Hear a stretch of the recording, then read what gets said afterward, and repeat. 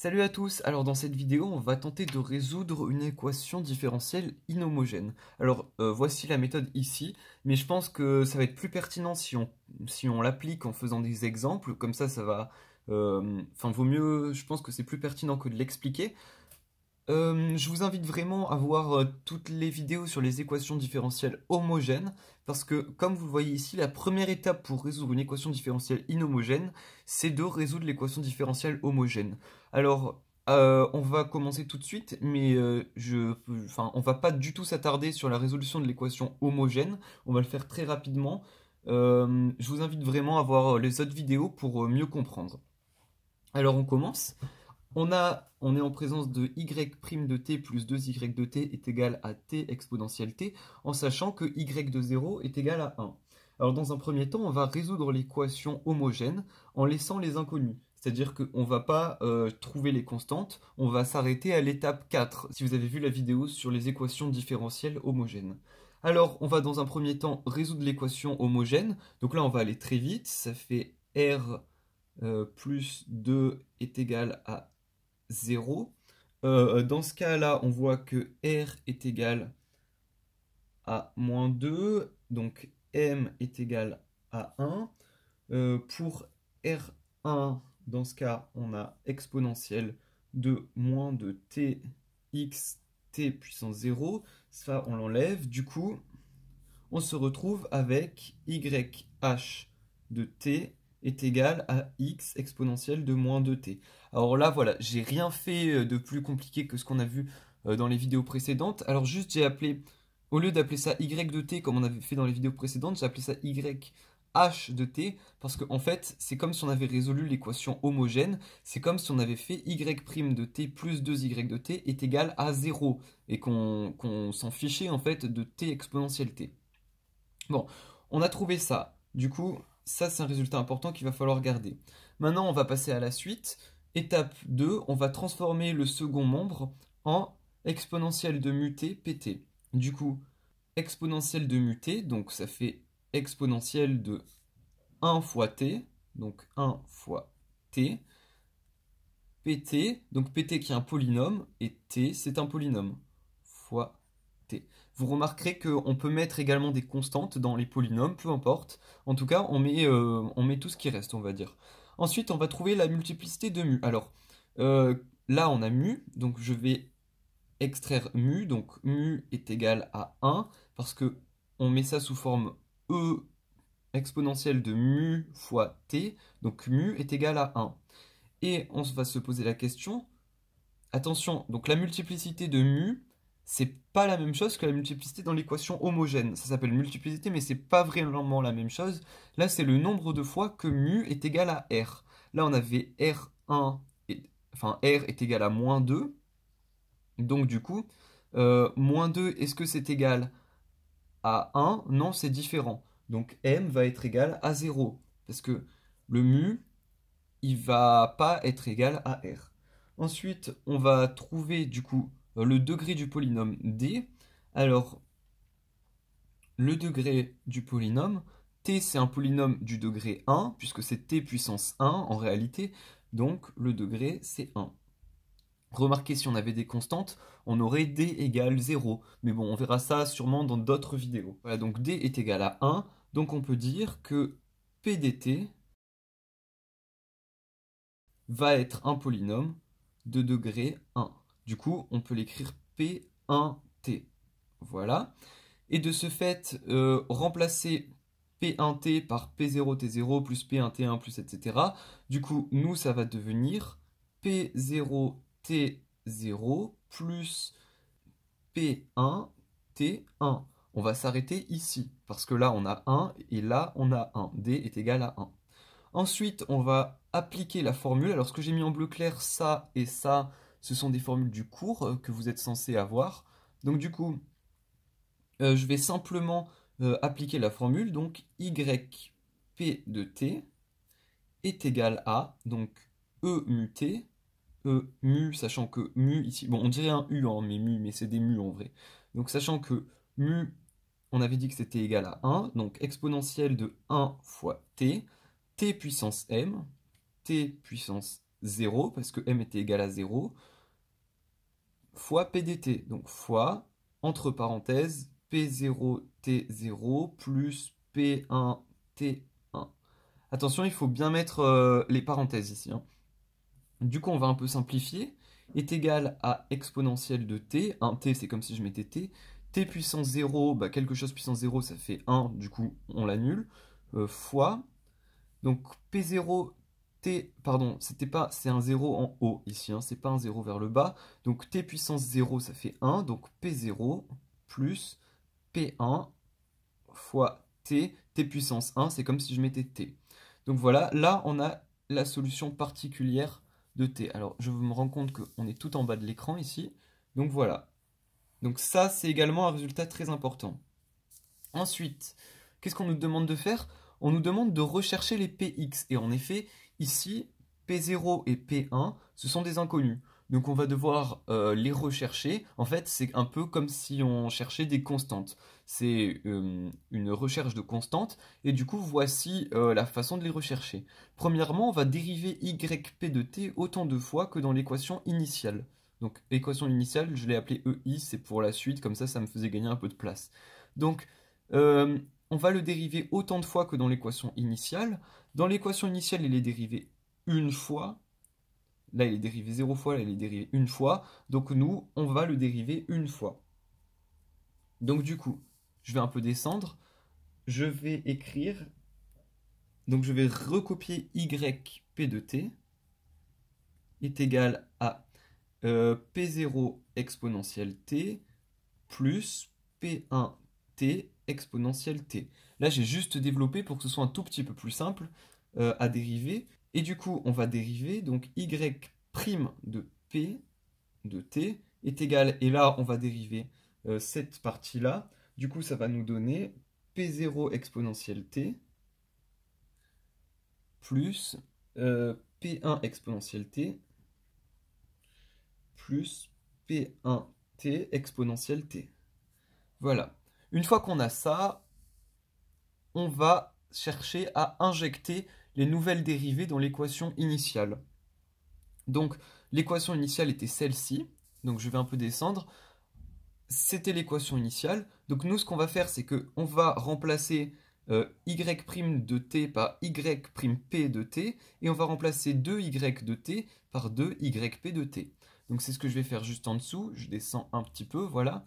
Donc là on avait y' de t, du coup je vais remplacer y' de t par y'p de t, donc p0 exponentielle t plus p1 exponentielle t plus p1 t exponentielle t. Ensuite, on avait plus 2 y de t. Donc plus 2, et je remplace y de t par yp de t. Donc p0 exponentielle t. Et du coup, on a est égal à TET, donc est égal à TET. Là, je ne touche à rien. Ce qu'on va faire, c'est factoriser par E muté pour simplifier. Et ensuite, on va résoudre. Donc déjà, on va factoriser par E muté. Donc, nous, on avait que E muté, c'était exponentielle de 1t. Donc, on va factoriser par exponentielle de t. Donc, on va écrire ça comme ça. Exponentielle de t P0 plus P1 plus P1T plus... Donc là, euh, je vais euh, d'un coup euh, développer et factoriser par exponentielle t. Donc plus 2P0 plus 2P1 t est égal à t exponentielle t. Là, l'exponentielle est des deux côtés. Donc on va pouvoir, si je le passais de l'autre côté, ça, ça, ça se simplifie en fait. Donc là, je vais pouvoir recopier tout ça.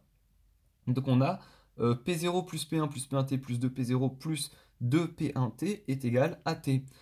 Euh, là, je vais regrouper les termes entre eux. Ce que je peux regrouper entre eux, je vais les regrouper. Par exemple, là, on voit que P0 et 2P0, ça fait 3P0. Plus, là, on a P1, là, on a P1T, et là, on a 2P1T. Donc là, j'ai P1T, et là, j'ai 2P1T. Donc ça fait 3 P1T. Et là, j'ai P1, donc plus P1 est égal à T. Voilà. Donc après, il va on va simplement euh, avoir besoin de résoudre. Donc pour ça, euh, bah, rien de bien compliqué. Hein.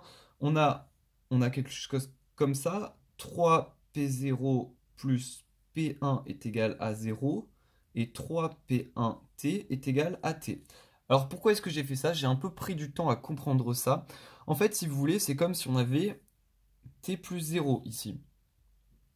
3P0 plus P1 plus, est égal à 0 et 3P1T est égal à T. En fait, si vous voulez, euh, on regroupe les, termes en, T entre eux et ensuite on va pouvoir euh, en déduire les constantes. On voit très bien que seul, il y a seulement ce terme-là qui se finit par T. Donc 3P1 va être égal à 1. 3P1T va être égal à T, donc 3P1 va être égal à 1. Du coup, ça, je peux l'enlever, c'est comme si j'avais T fois 1 ici. Donc, ce que je peux dire, c'est que, donc là, on a, on a toujours 3P0 plus P1 est égal à 0. Et du coup, si, si 3P1 est égal à 1, alors P1 est égal à 1 tiers. Voilà. Et maintenant, ce qu'il nous reste à faire, c'est simplement de dire que du coup, si P1 est égal à 1 tiers, enfin, en fait, on va exprimer 3P0 en fonction de P1. Donc, du coup, ça nous donne 3P0 est égal à moins 1 tiers. Moins 1 tiers, parce que j'ai remplacé P1 par 1 tiers et j'ai passé euh, de l'autre côté, sachant que P1 est égal à 1 tiers. Et du coup, je peux dire que je passe le 3 de l'autre côté, P0 est égal à moins 1 neuvième, et P1 est égal à 1 tiers. Donc là, on a presque fini. Maintenant, il faut qu'on applique la deuxième formule, yt est égal à yh de t plus yp de t, sachant que là on avait yh et là on avait yp. Alors ce que je vais faire, c'est que je vais remplacer les p0 et les p1 par les p0 et les p1 ici qu'on a trouvés, et du coup je vais faire y de t est égal à yh de t, donc x exponentielle de moins de t, plus euh, tout ça, sachant qu'on remplace les p0 et les p1 ensemble. Donc du coup, ça nous donne i, pardon, ça nous donne y euh, de t est égal à euh, yh de t plus yp de t est égal à, donc YH de t c'est x e moins de t, donc x e moins de t, plus, du coup, exponentielle de t, fois P0 qu'on avait ici, moins 1 neuvième, plus P1t, 1 tiers de t. Voilà, on se retrouve avec quelque chose comme ça. Maintenant, ce qu'il va falloir faire, c'est qu'il va falloir trouver les constantes. Donc cette étape 9, en fait, elle correspond à l'étape 5 euh, de la méthode euh, de résoudre une équation différentielle homogène. On va faire exactement la même chose. Donc pour commencer, on va dériver y autant de fois euh, que y de quelque chose égale quelque chose est donné. Par exemple, ici, on a y de 0 est égal à 1. Donc ce y est dérivé 0 fois. Donc on n'aura pas besoin de dériver notre y On n'aura pas besoin de le dériver. Pourquoi? Parce que là, euh, la dérivée maximale en fait qu'on nous donne ici, c'est quelque chose qui n'est pas dérivé. Donc du coup, on sait que y de 0 est égal à 1. Donc du coup, ce qu'on va faire, c'est qu'on va remplacer tous les t par des zéros. Donc dans ce cas, ce qu'on va faire, c'est que y de 0 est égal à... Donc y de t est égal à tout ça. On va remplacer tous les t par des zéros. Donc est égal à x exponentielle de moins 2t, donc moins 2, 0, exponentielle de 0, ça fait 1, donc je ne vais pas l'écrire, plus EZ exponentielle de 0, ça fait 1, donc je ne vais pas l'écrire non plus, 1 fois euh, moins 1 neuvième, donc 1 fois moins 1 neuvième, plus 1 tiers, fois, et t, on sait que c'est 0, donc ce terme-là, je peux le supprimer, du coup, ça fait x plus 1 fois moins 1 neuvième, donc ça fait moins 1 neuvième. Et on sait que hum, y de 0 était égal à 1. Du coup, ça nous donne est égal à 1. Et du coup, il me reste plus qu'à faire... Hum, il me reste plus qu'à passer de l'autre côté. x est égal à... Je passe le moins 1 neuvième de l'autre côté. Ça fait 1 plus 1 neuvième, c'est-à-dire 10 neuvième. Voilà. Et maintenant, qu'est-ce qu'il me reste à faire? J'ai presque fini. Il me reste plus que... Donc là, on a résolu. On sait que x est égal à 19e. Maintenant, il suffit simplement de remplacer euh, le x qu'on avait ici par 19e. Donc du coup, c'est simple. Dans ce cas-là, y de t va être égal à x, donc 19e, exponentielle de moins de t, plus exponentielle de t, facteur de moins 1 neuvième, plus 1 tiers de t. Alors voici la méthode, j'espère que vous avez compris ou au moins que vous commencez un peu à voir euh, rapidement les étapes, etc. N'hésitez pas voilà, à essayer de vous entraîner. Je vais faire d'autres vidéos, comme ça ça va vous permettre d'encore plus vous familiariser avec euh, les équations différentielles inhomogènes cette fois. Du coup, on se retrouve dans la prochaine vidéo.